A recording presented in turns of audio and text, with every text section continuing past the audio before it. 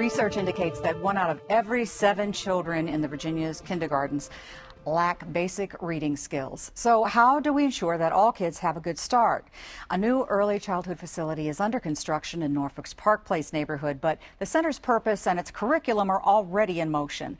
Please welcome Lisa Howard. She's president and CEO of E3 Elevate Early Learning and Anthony Walters is executive director of the Y on Granby.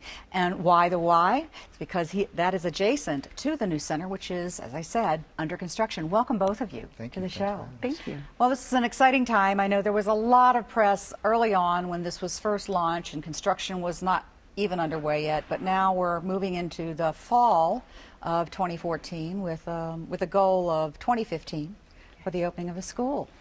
Lisa, Elevate Early Education, E3, is a new concept in um, the way we look at um, teaching our children at an early age. E3 Elevate Early Education is a statewide advocacy group that was created in 2012 with the um, idea that we really had to change the way our state is thinking and prioritizing early education. And so part of our long term strategy is the implementation of this demonstration model um, in the new E3 school in the Park Place neighborhood. Okay, and uh, being in Park Place and next to the the Y on Granby, which is in itself is a relatively new facility, um, is really a, a great location strategically because the population that you are talking about serving isn't a particular income group. Is that correct? That's right. It's an all children model, mixed income model, a third from lower, a third from middle, and a third from upper income families. Okay. The Y membership, um, I know the location being where it is, it's a, it's a very busy thoroughfare, Granby Street, um, and uh, then you have the Park Place neighborhood, you have people coming from downtown going home um, and going from wherever and moving downtown, and they're all running by the Y. Sure. So does your membership at this point reflect some of that diverse, that diversity? No, great question. I, I, you know, our center uh, is uniquely positioned in, in central Norfolk, is what I call it, um, where the entire city can come together. Yeah. Um, and sort of be in this uh, beautiful mosaic of a, of a community. And we're experiencing um, that diversity. So we've got you know, every race, color, and creed, um, all ages, and, and more importantly, when you drive by it, if you drive by it today and you're, you look, look at our uh, outdoor aquatic center, Yes. You'll actually see it. You you'll visually and physically see the, the diversity um, that exists at our center, which I think makes it a perfect fit for what Lisa and the organization is trying to get accomplished. So it, it works well. It's already experiencing the diversity, and um, obviously Lisa and, and, and her mission, they'll experience the same thing. Right. Well, you're right. Central Norfolk's probably a good description of where it's located because it very, it is very centralized. Yeah, and you know, I always say this to Anthony, but you know, I think back to when I was a mother with young children. My kids are now a little bit older, but you know, I would have just loved to have the high quality early education right next door to the Y where I could go work out, do my thing, have some family activities, you know, to have that connection.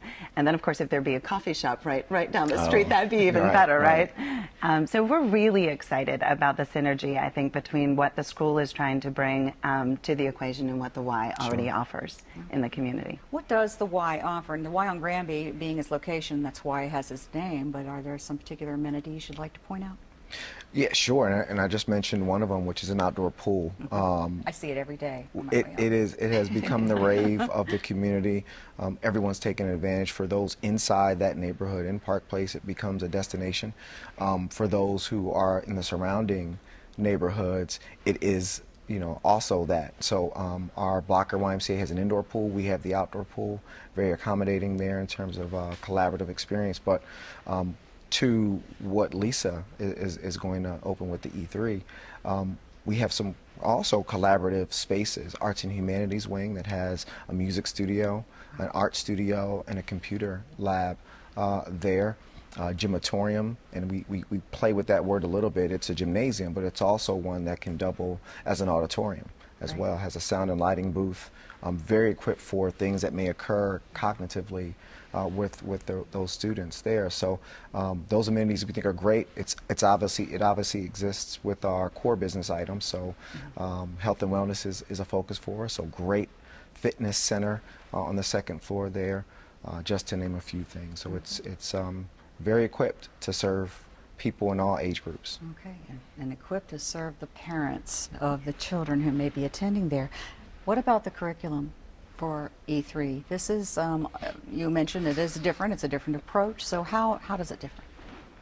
You know, the real distinction with what we're trying to do in the new E3 school is, is you just said it, it's the key ingredients that we know go into high quality. So often we hear, you know, from the president on down tout high quality, but nobody has really yet defined what those ingredients are. And so that's what we're trying to accomplish in this demonstration model and what those program elements really are and how they could be replicated and scalable um, in a cost sustainable way. And so that is really what we're trying to accomplish in the school. And then, of course, have impactful learning for kids. So everything that we're doing inside the school is really geared towards kindergarten readiness outcomes for children. And so some of those key program elements are the cutting edge curriculum and then training the teachers on implementing that curriculum oh, and yeah. then hiring the staff and really training them and specializing them in child development and early education. So they don't necessarily have to have a master's degree or a bachelor's degree, but they have to be trained and specialized in the field of early education and working with young children. And then, of course, one of the most important key ingredients in ensuring that children enter kindergarten ready is the strong teacher child interactions. And so that's going to be a really key component to what you see happening in the classroom every day. But the, the curriculum will focus on STEAM. And so that's science, technology, engineering, arts, and then math. And of course, we hear a lot about STEM, but we've added the arts in there because we really believe that the arts are just a critical component for, for young children. And the, the sooner we can expose them to the arts, the better off they will be. And so, to Anthony's point, I think that's another exciting partnership opportunity for what we have, you know, with the Y in terms of offering and taking advantage of some of the space and offering some enrichment activities for families and young children. Well, it's going to be a bevy of activity then when everything gets underway. How many children do you think you'll be accommodating and, and, and staff?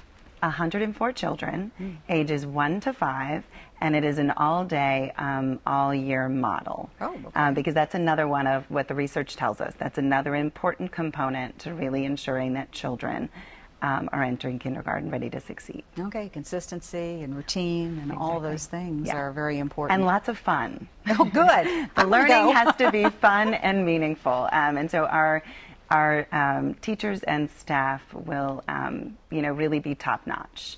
And they will, you know, come to that school every day with a passion for young children and what they do. Okay. So we'll have about 26 um, teachers.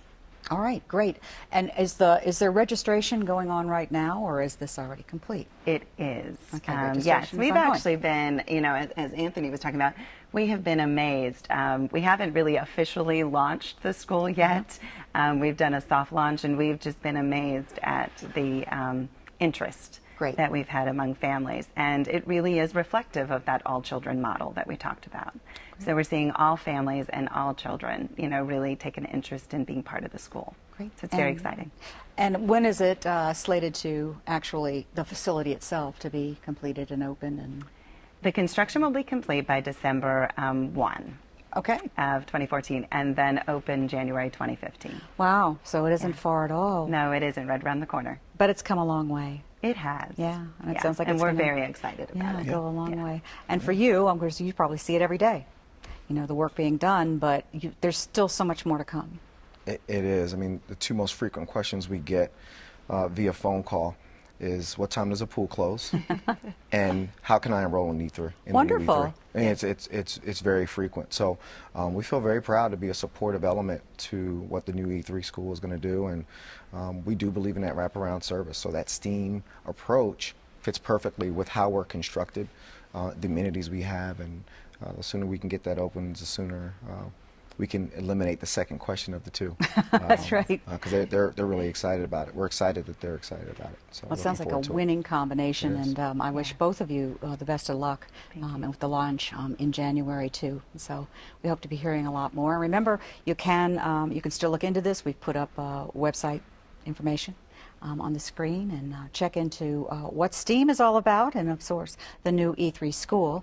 Um, that is opening up uh, right in the Park Place neighborhood next to the Y on Granby. Thank you, Lisa. Yes. Thank you, Anthony. Thank, Thank you. you. While parents play a huge role in shaping their children's early years, it doesn't stop there. After the break, free help for parents of toddlers, youth, and teens who want to be the best that they can be.